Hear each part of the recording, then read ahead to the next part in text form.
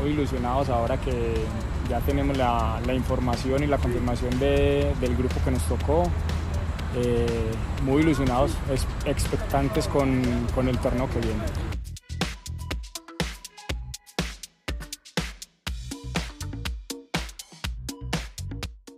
Desde el inicio de la temporada nuestro objetivo principal era clasificar a Copa Libertadores, lo logramos, va a ser nuestra primer Copa Libertadores.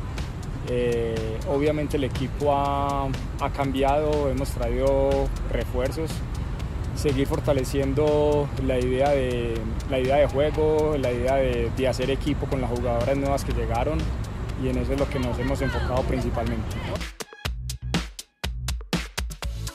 Obviamente al tener partidos tan, tan continuos, la parte física va a ser muy, muy influyente.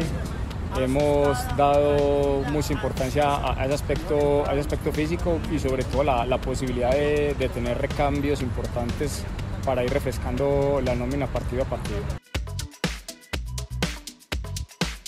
Nos hemos reforzado muy bien, individualmente siento que tenemos un equipo muy competitivo, jugadoras muy, buenas. El reto es hacer equipo con esas jugadoras que, van llegando porque el fútbol es colectivo, individualmente no, no, no, se logran ganar los partidos, entonces el reto ahora es, es hacer equipo con, con ese tipo de, de refuerzos.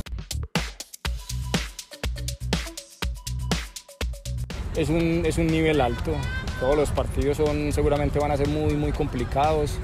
Eh, nos tocó en el grupo del, del, del campeón vigente Palmeiras, eh, pero ilusionados. Yo creo que como todos los equipos, al inicio de cada torneo, todos los equipos estamos con la, con la ilusión de, ir por lo máximo, que es quedar campeones, eh, pero estamos satisfechos con el, con el grupo que nos tocó.